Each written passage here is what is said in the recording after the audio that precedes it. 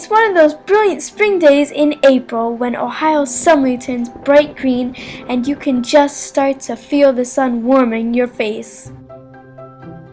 It's Easter weekend and my grandma Mary Lou Leonard is having the family over to her farm for her annual Easter egg hunt. This has been going on ever since my papa and his sisters grew up here 50 years ago. Now Grandma does it for her grandkids.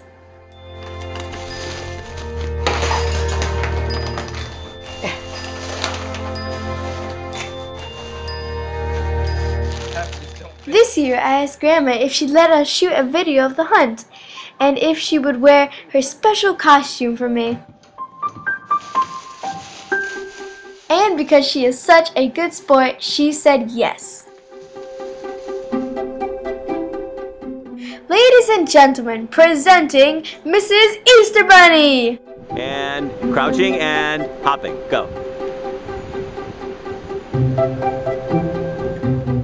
After church on Easter Sunday, Grandma and Papa began hiding the eggs.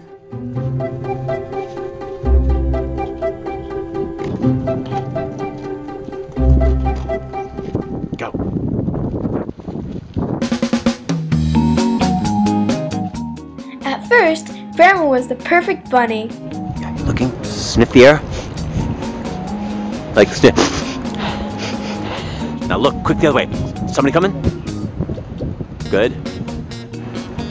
Hmm. Look around. Anybody see you? Anybody see you? Uh oh. Get out of here quick. Go. Get.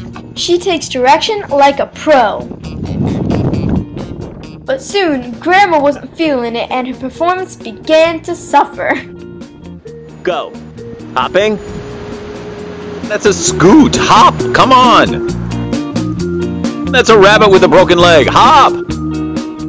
Hopping. Hop. Hop. Keep going. Finally, Grandma got her groove on and Mrs. Easter Bunny was back on track. Hop. Go.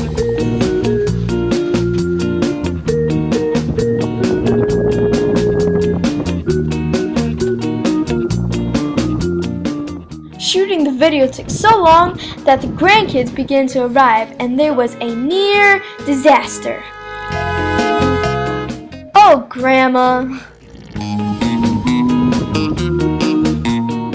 My cousins are in high school and college, but age doesn't matter when it comes to the Easter egg hunt. Get that? Go! Wow. Enthusiasm? Well, that's a different story. Most of the eggs are hidden around bushes and in piles of leaves, and it is easy to miss them. Grace! There, there are a lot of them over there uh, for yours.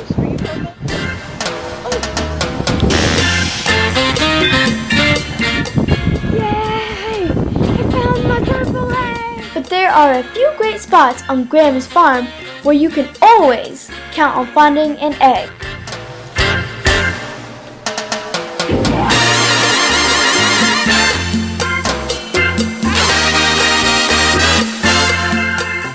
Just the grandkids look for the eggs, but everyone, including the adults, has to find their own basket.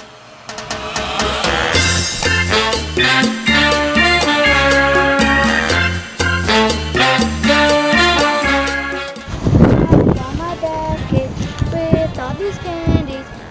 So I found my Easter basket, but then I just left it over there, so I didn't have to carry it. Someone hit it in a very hard place. As the 2012 Easter egg hunt comes to a close, Mrs. Easter Bunny makes her final appearance on her big old John Deere tractor.